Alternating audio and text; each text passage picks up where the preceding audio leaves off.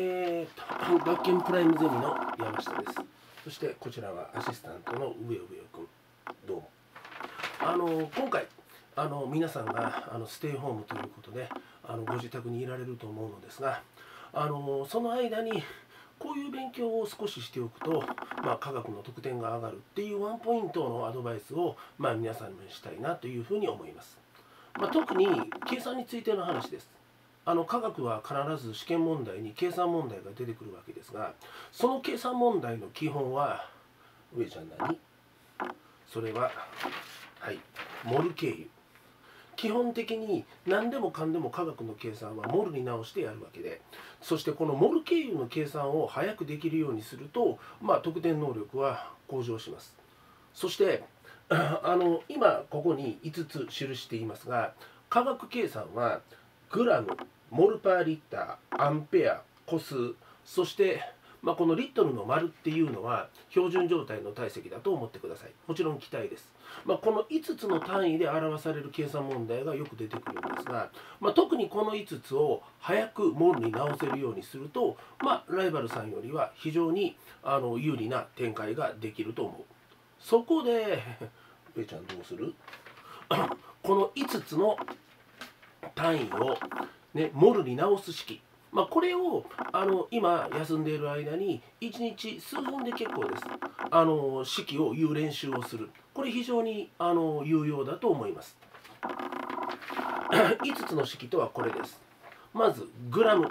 グラムはモル質量で割る。そして標準状態の体積は224で割る。そしてモルパーリッターはリットルをかける。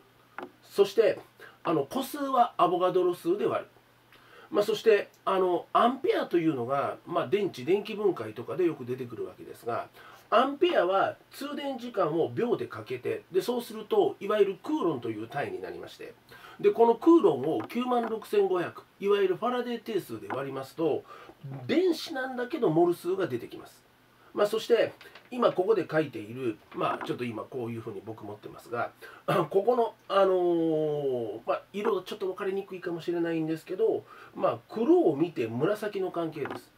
グラムを見れば即モル質量が浮かんで割れるようにする。標準状態の体積標準状態の日の字が出てきたら224で割れるようにする。